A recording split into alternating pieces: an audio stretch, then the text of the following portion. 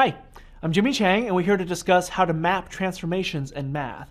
Now, there are a variety of transformations out there in mathematics, and transformations, as you might imagine, are graph shifting. Um, more often than not, you're going to be exploring a lot of different functions as well as their graphs, and one convenient way to talk about graphing is being able to look at how graphs shift.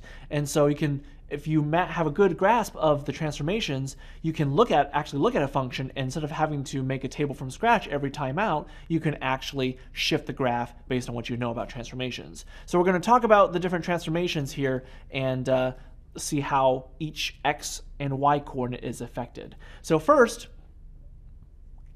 we're going to look at vertical transformations. Now, vertical transformations are where the y coordinates end up being affected. You either shift the graph up or you shift the graph down. But in vertical shifts, the y coordinates are either going to be added or subtracted depending on the situation. Now, as you might imagine, if there's got to be a vertical transformation, there has to be a horizontal transformation, and you're absolutely right.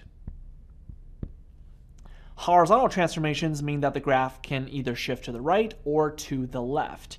Now, as you might imagine as well, because horizontal deals with the x-axis, it's the x-coordinates that are going to be affected, and you're either going to add them or subtract the x-coordinates as well. Now, as you'll discover later on in your studies, the x-coordinates actually work a little differently than what you might expect.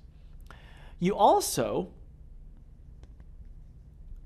have what's called reflections you can have reflections about the x-axis or the y-axis. And when that happens, you either have what's known as a vertical reflection or horizontal reflection. And in reflections, it involves changing of the signs.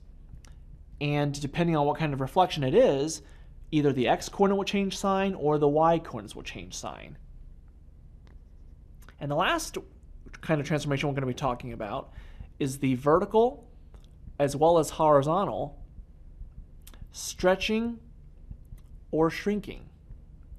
Now, what that means here is the graph can either vertically grow faster than normal or grow a lot slower than normal, or horizontally stretch or shrink depending on the situation.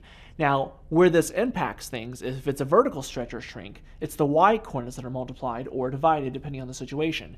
And if it's a horizontal stretch or shrink, it's the x coordinates that are either multiplied or divided. Now, different functions will have different kinds of transformations, which means that you can either have one transformation only, two, sometimes all four, depending on the situation. But you may have noticed that I wrote these transformations in this particular order, but that's because this particular order is the way you should look at the transformations. Why? Because of the order of operations.